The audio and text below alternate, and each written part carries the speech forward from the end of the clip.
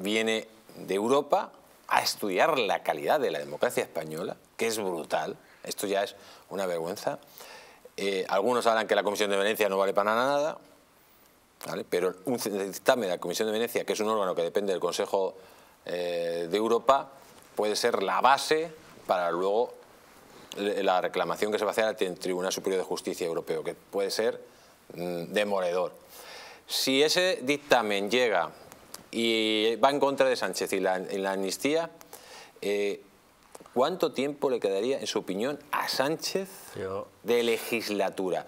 Aunque Sánchez se pusiera en plan maduro, en plan comunista, que no se quiere ir ni con agua caliente. Pero ¿cuánto tiempo, eh, con todo, con el Poder Judicial en contra, con la gente en las calles, con toda la oposición echada encima de él, eh, con Europa también todo en contra, ¿Cuánto le daría a usted de, tiempo? Fíjese, esta, esta pregunta ya me la he hecho yo hace unos días y de hecho ponía un tweet y creo que decía que independientemente de la Comisión de Venecia, que no deja de ser un chinatito más en el zapato de Sánchez, yo le doy, yo creo que votamos entre Semana Santa y verano.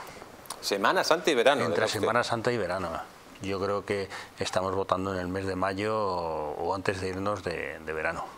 Yo no, yo no le doy yo no le doy más de, este tiempo porque al final eh, cada día que va pasando vamos viendo cómo van aflorando nuevas noticias, cómo los jueces eh, van empezando a coger el toro por los cuernos si no lo tenían ya, ¿no?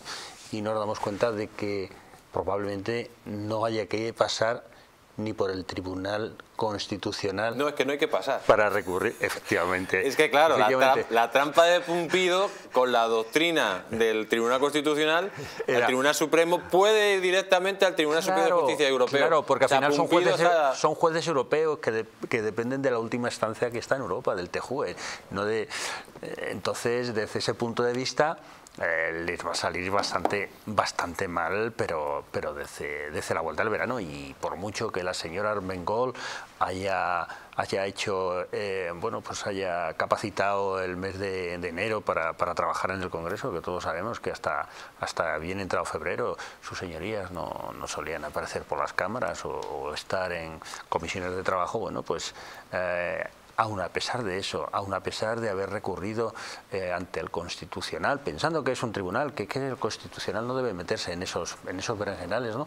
el tema de, la dilatación, entre comillas, en el Senado de la estancia de la, de la llamada ley de amnistía o la ley del perdón o la ley de, los ádicos o como queramos denominarla, ah, no les va a salir bien